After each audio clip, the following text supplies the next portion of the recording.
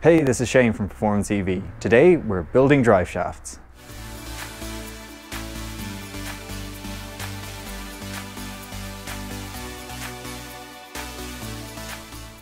Hey folks, welcome to the channel. Thank you so much for joining us. For those of you new to this channel, this is my project to put a Nissan Leaf motor into a Porsche 911 and we're, we're getting closer to being, being able to have a usable car. Um, in the past few weeks, months, I've been getting the motor in position, getting some of the signal wiring done, and we're kind of getting down to the last few jobs that are needed to be able to to move the car under its own steam. Even if it's not the finished article, I would just want to be able to get it to drive forwards and backwards as a start. Um, still a bit more wiring to do, uh, which we'll get to at some point over the next few weeks. But what we're going to do today is the actual physical connection, the mechanical connection between the Nissan Leaf drive unit and the Porsche. So that is the drive shafts. The, uh, in this case, it's um, half shafts, so CV axles, between the transmission or the, the gearbox differential of the Leaf drive unit and the Porsche rear wheels. Um, so I've got uh, Porsche CV axles, I've got Nissan Leaf CV axles. They've got very different um, ends to them. So what we're going to do is basically chop them into a couple of pieces and use the inner side of the Leaf axles and the outer side of the Porsche ones uh, and basically weld them together. So this is not a long-term solution. Um, this is just something so I can prove that I can actually get this thing driving, but also to make sure things like clearances are right and to use them to measure out to get some proper custom made um, CV axles done by a professional engineering firm. So the plan for today is the, the interim solution and that's basically we're going to chop the large chunks of metal off the existing half shafts and then we're going to try and either butt them together and weld them or potentially if I have some metal of the right diameter uh, sleeve them so have, have something that goes over the two ends I'm putting together and then weld around that. So a lot of a lot of cutting and measuring is going to be needed uh, and then some welding at the end. The longer term plan is that we'll use, as I said, these half shafts as a template. And basically we're going to buy uh, some hopefully new or aftermarket whatever Porsche drive shafts from the um, from the manual 911, uh, which are longer than the the ones that were in this and are longer, I think, than the what we're going to need, and basically get them cut to length, and then a machine shop to grind new or machine new um, splines on them to match the leaf pattern. Uh, but that's for the future. Still need to find a company that uh, can do that without me having to travel too far up the country or ship heavy objects too far up the country. But um, yeah, I want to get this done first so that we've got something that we can measure against.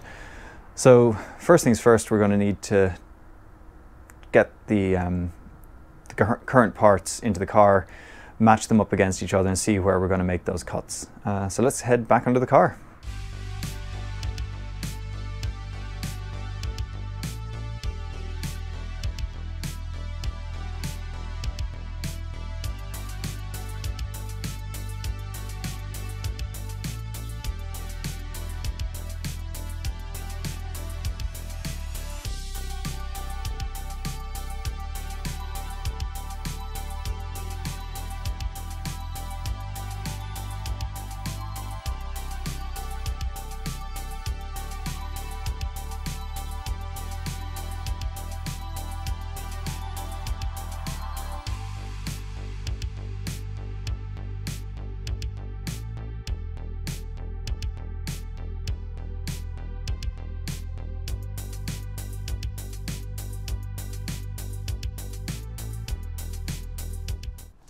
So these were just really exploratory cuts. Um, because I wanted to see what the what the inside of the two drive shafts was like.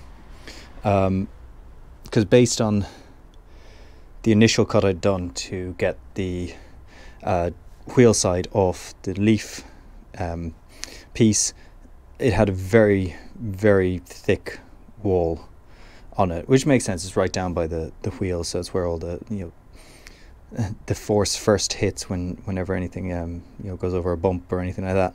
But I um, didn't know what this wall thickness was going to be like, so the first cut was done with a view that I would butt the Porsche unit right up to it, and then we just have to weld. It wouldn't be as strong. But fortunately, uh, the wall thickness has dropped down as it's spread out, and there's actually less than a millimeter um, difference between the internal diameter here and the external diameter of the Porsche part. Um, so what I'm thinking is with a bit of heat and a bit of brute force, we might be actually able to use this as a sleeve almost um, for the Porsche unit. So in order to get this to work, um, what I'm thinking is I might actually be able to use a portion of this for the um, driver's side where the both the drive shafts are narrower um, to sleeve those and then just put the Porsche one into this one. So I'm going to cut a bit more off this one, a decent amount, but leaving enough that I can use it. Then we'll get this one back in the car, get the Porsche one in, figure out where to make the cut and go from there.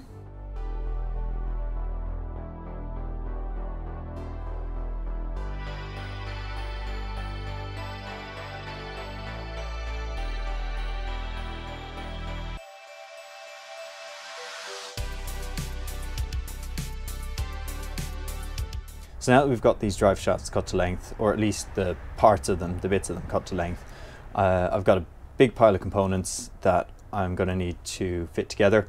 So the first thing we're going to do is just get them cleaned up, uh, make sure there's nice accessible metal um, to weld to, but also that there's no paint or anything that's going to make the diameter of the shafts artificially large or that's going to melt when I add heat. So yeah, so let's get them tidied up and then we can start putting them together.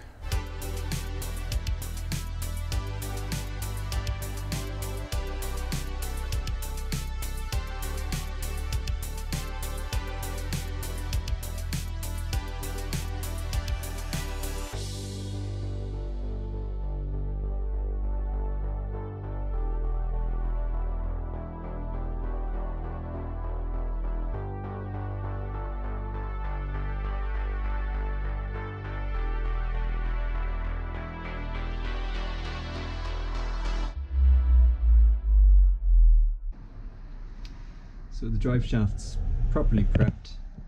We can now move on to trying to put them together. Uh, for that we're going to need to basically heat up the wider part, so the part that's going to be sleeved over the, the narrower bit, uh, try and make it expand enough that it will um, fit over the other part and then when it cools it will basically shrink to fit, make a ni nice tight seal and then we'll weld around those edges. So yeah, let's uh, get some fire.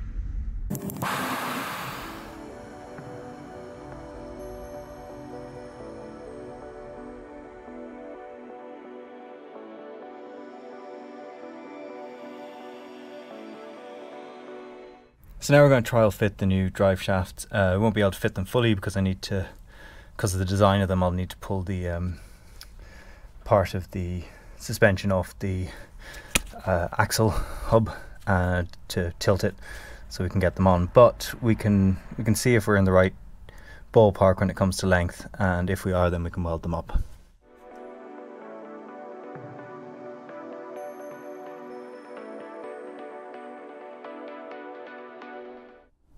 So both drive shafts um, are a reasonable length for what we need them.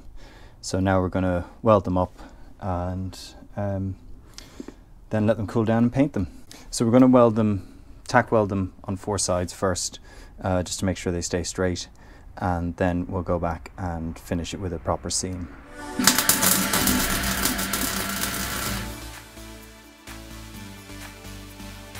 So these fall under not pretty, but they'll do category of engineering. Um, I'm not sure I would trust them on highway speeds, and I probably wouldn't even take them up to 30. But they'll work for my purposes. They'll allow me to get the car around the um, garage and and make space for some of the bigger things that I'll have to build out later, like the battery box and that sort of thing. And they will also um, let me double check that I've got the lengths right, so that when I do get some replacement Porsche drive shafts that are longer than these original ones, I can get them cut down to the right length first time round by some professionals. But for now, I'm going to hit these with some primer and some paint, uh, make them look as neat as I can, and then we'll uh, put them back together and uh, get them in the car.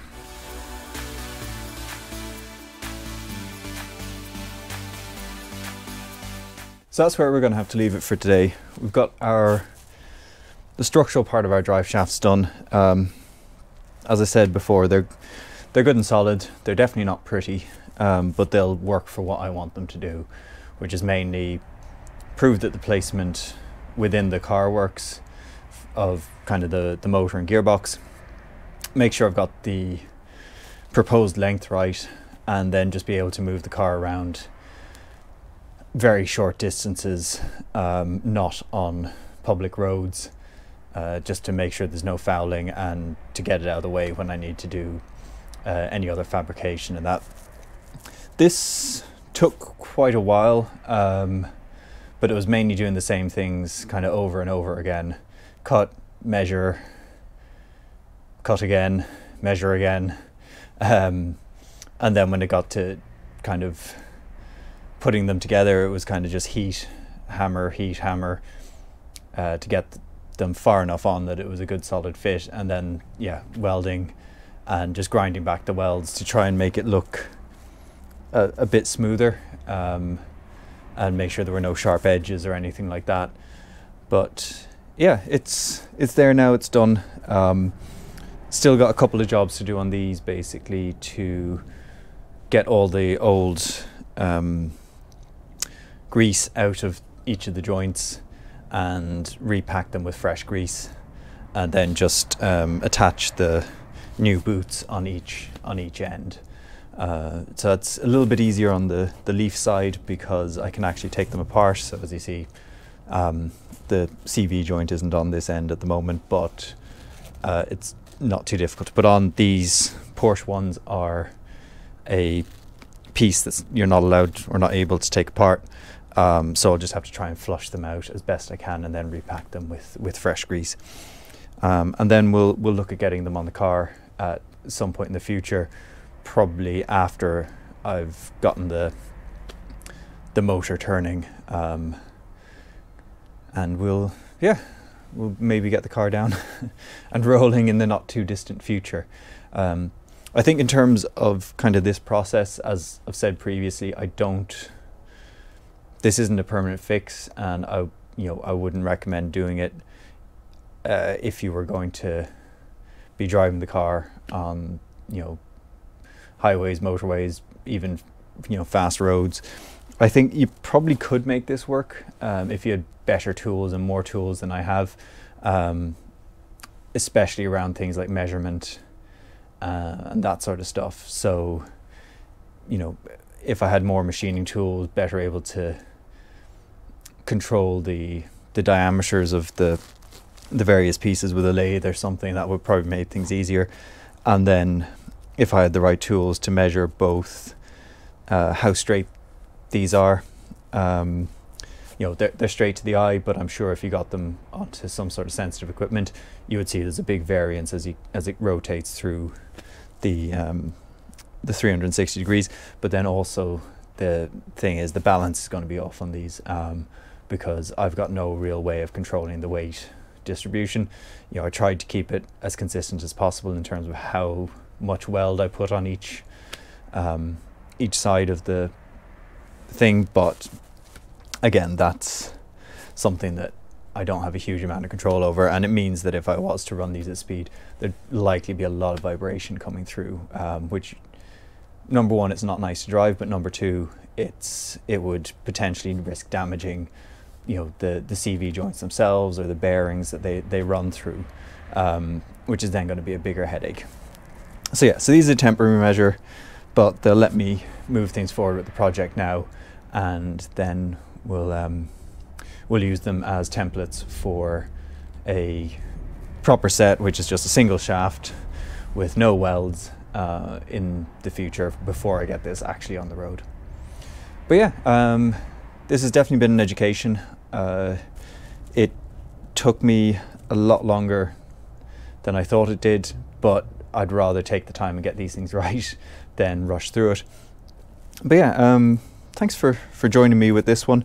If you've liked what you've seen here and you want to see the rest of the project, please consider subscribing. As always, comments are appreciated. And um, till then, thanks for joining us, and I'll see you next time.